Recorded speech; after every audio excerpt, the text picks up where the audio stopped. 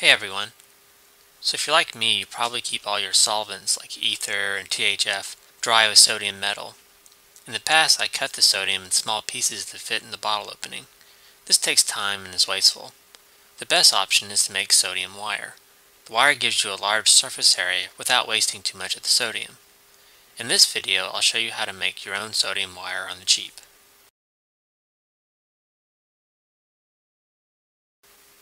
To make our wire we need an extruder. I'm using this clay extruder from Hobby Lobby. Their site shows it for $11.99, but I picked mine up when all their clay products were 50% off. Anyway, the other items you'll need are the sodium and the items you need to cut the sodium with. So here's the extruder out of the packaging. Essentially it's just a syringe you use discs in. I chose the disc with the smallest round hole that came with it. It has other disc shapes in case you decide to make triangle sodium wire. You can see putting it together is very simple. Now it's loaded up with sodium. You'll need to cut a piece that can fit in the end of the extruder. Note that the plunger of the extruder does not go all the way up to the disc, so be sure to cut a piece a little bit bigger than what you expect to use.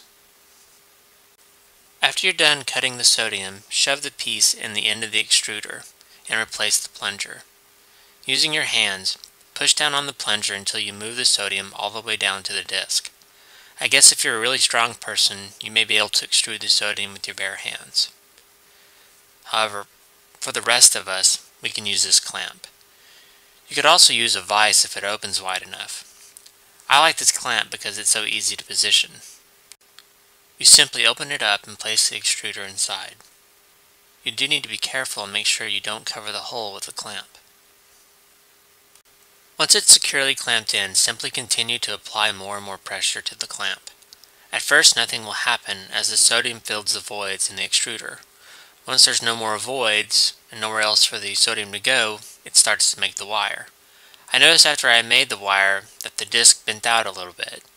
I thought it would eventually fail, However, I've made tons of wire with this setup and has yet to fail. When you're done, simply remove the wire from the end. Take the device apart and remove any leftover sodium and place it back into its container. And that's how you make sodium wire on the cheap. Simply place it into any compatible solvent you wish to store dry. Note that you should only add the wire to solvents that are dry at the time you place the sodium in them. Also, it's best not to tighten the lid for a few minutes to allow any gases to escape before you seal it tight. Thanks for watching.